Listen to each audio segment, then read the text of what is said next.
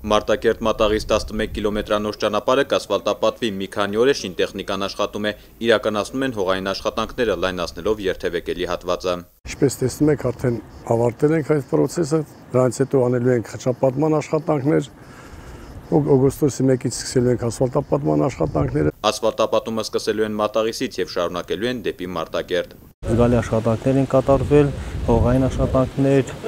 հենապատերի կառուցման, ջրահեռացման խողովակների տեղադրման Առաջին 5.5 կիլոմետրը պատրաստ կլինի հոկտեմբերին, երկրորդ հատվածն ավարտելուց հետո կսկսվի Մատաղից Թադիշ ճանապարհի ասֆալտապատումը։ Նորությունը կարևորում են նաև Արցախի հյուսիսային հատվածում մարտական հերթապահություն իրականացնողները, անբարեկարգ ճանապարհները որոշակի բարդություններ էին ստեղծում։ Իսկ հիմա արդեն այդ հարցերը բոլորը լուծված են։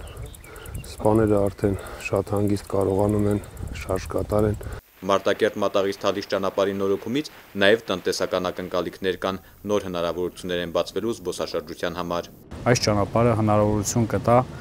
ավելի արդյունավետ եւ օգտակար գործողություն գործակիցը բարձր ցուցանիշով կապվել Մայր Հայաստանին Վարդենից Մարտակերտ ճանապարհով Մարտակերտի շրջանի տնտեսական կյանքում մոտ ապագայում խոշոր դեր կստանձնի Մատաղիսի ձկնաբուծարանը, այստեղ խավիար եւ ձկնամիսի արտադրվելու։ Նորայր Հովսեփյան, Մհեր Մկրչյան, ժամը լրատվական